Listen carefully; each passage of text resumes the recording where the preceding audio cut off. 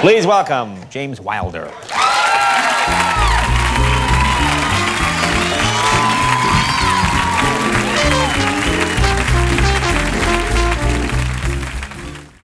So I went down there to go do some research, right? To check out the chemistry, to see if this is true, see if it's even possible.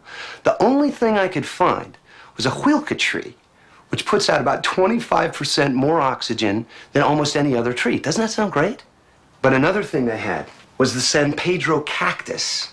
It's um, kind of like peyote, only much stronger.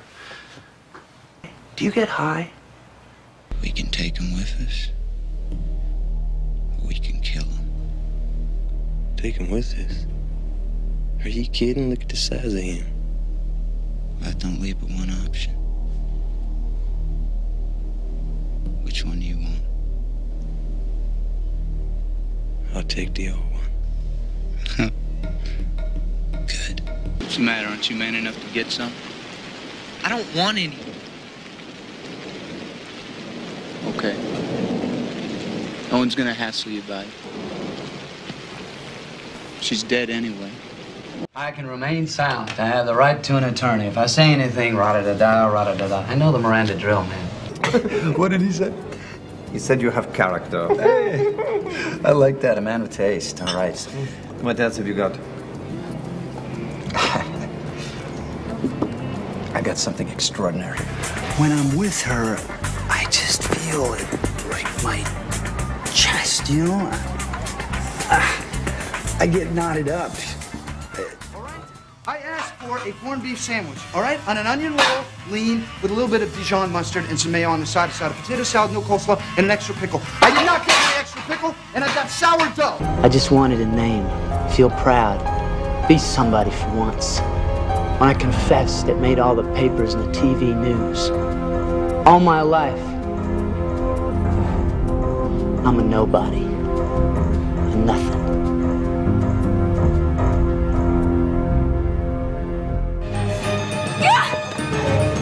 Get away from me! Get away from me! Obviously, I caught you at a bad time. So, remember, we're back in business. Same as it ever was. Are you leaving me? Don't tell me you're trying that again. No, honest, just a trip. You know what? Who was here? There's two glasses on the kitchen counter. Who was it? Huh? Some guy? There's no guy. So, tell me who it was. She told you? God, that is just like a woman. I can't believe she told you. She definitely told me, Stanley. Why? Did she say why she told you? The question isn't why she told me, Stanley. The question is why you fucked her in the first place. She promised me. She swore, Ray. She lied. I, I, you know, I told her that I would not go through with this if she was going to tell you about it. You're saying that she asked you to do it? Well, I did not exactly force myself on her. I mean, I had a few drinks. She's looking good. Shit, man, you know, we of the male gender are not trained from birth like they are to say no. I'm sorry. He's lost the right to that argument. He's not just killed someone. He's killed in a manner that none of us can appreciate. We can't take the chance that he's going to do this to another human being. I like the way you smell. What? It's like peaches or tangerines or some sort of fruit. It's nice, really. I don't think that's me. Wait a minute.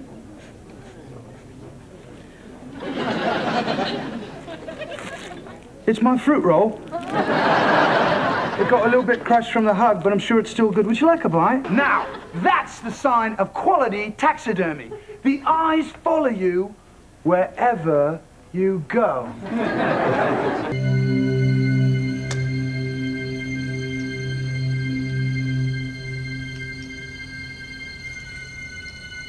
You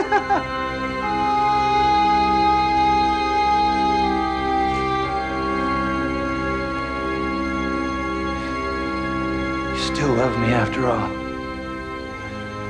Don't you?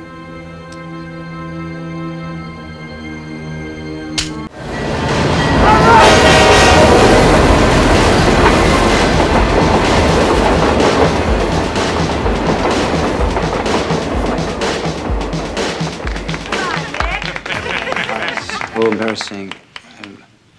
We appreciate all this attention, uh, but you know we were we were just in the right place at the right time. So what's it like?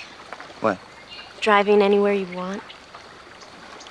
Oh, I don't know. One highway looks pretty much like every other. I don't believe that. Pavement is pavement is pavement. Well, I guess you ought to know. It's the truth. No, It's Rodney, the truth. If don't you say would that. tie me, I swear to God, I'll have you absolved of all charge. Is that my mother's shirt? I just borrowed it. Is that my mother's shirt? Rodney!